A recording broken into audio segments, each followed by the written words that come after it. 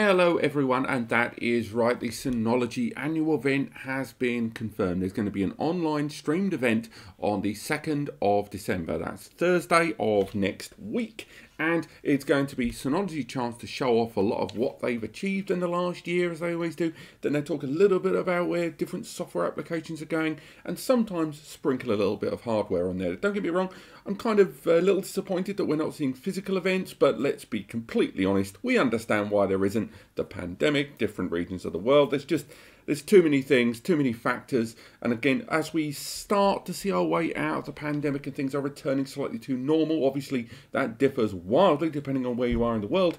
It's understandable that there aren't any live events once again. And I think this year, much like last year, it's going to be completely online video based. Now, how that is presented at the time of recording isn't completely clear. I don't know if this is going to be an online portal like when we saw all of the YouTube videos that were produced last year from different regions talking about all the applications and services of DSM7 or if we're going to see something a little bit more live at the time. And of course, I will update the article that's linked in the description with all the information about the event that we know so far that will be updated all the way through. The times of when this event will be uh, here in, in good old Blighty. It's going to be uh, 5 p.m. Greenwich Mean Time, but of course it's going to be different where you are in the world to a bunch of time zones. Hopefully, are somewhere on the screen while I'm talking.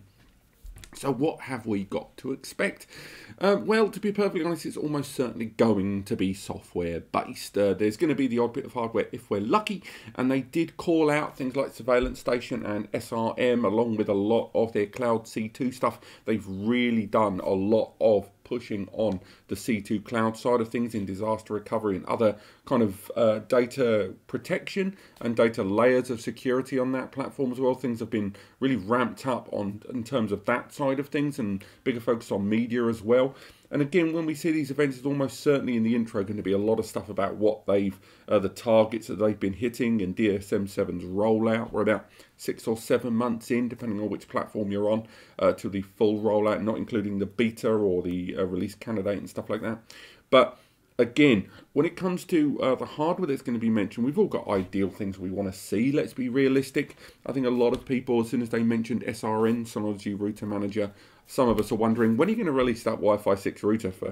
We're sitting here, we're waiting. Is that coming? And no doubt there's going to be a lot of the business level stuff as well. Still waiting on if they'll ever bring that 60 bay rack mount that we saw a couple of years ago. And of course, there'll almost certainly a few other uh, more enterprise level stuff out there. And again, I know a number of you are waiting for a long, long, long overdue follow up in that um, ARM 64 bit series, the Realtek devices there. So that's your, your 118, your 218, your 418, and even some of the plays. Where are the follow ups to those? I don't think we're going to get a huge amount of information uh, next week on these. It'd be lovely if we see it, but if we do, of course, I'll do a full summary and wrap up after the event. It comprises no doubt the hours of stuff they're going to tell you, and I'll put it into a nice straightforward video for you. So, so subscribe for that one, of course. But otherwise, follow the link in the description where I'll update that with as much information as I can. And other than that, I will see you next week uh, when we view this launch together. Let's go through, and I'll see you in the next video.